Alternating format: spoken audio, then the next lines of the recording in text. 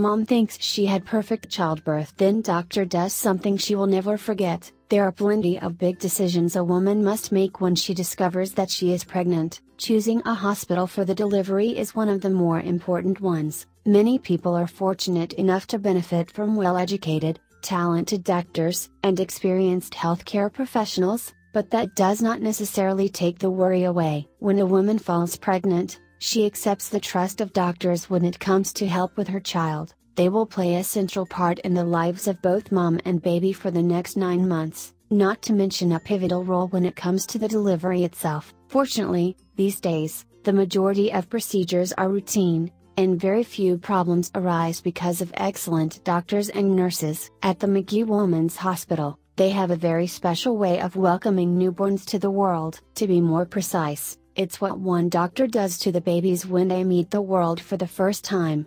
His technique for calming them is incredible. Dr. Carey Andrew Jaja has delivered thousands of babies during his career. He is a well respected member of the medical community, but he does something that none of his colleagues do. Dr. Andrew Jaja is best known as the singing doctor.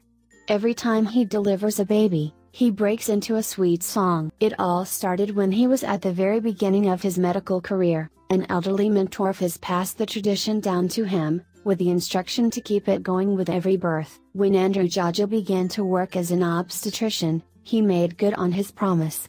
These days he welcomes all new babies to the world with a song. The doctor himself says that when he sings to children, he is singing to an important person for the future. You see, Andrew values all human lives, he sees each child as a unique gift for the world. He usually sings classical songs such as It's a Wonderful World and Happy Birthday, much to the joy of the parents. One thing is for sure, Dr. Andrew Jaja won't be forgotten anytime soon by the family. All hospitals should have a doctor like Andrew Jaja.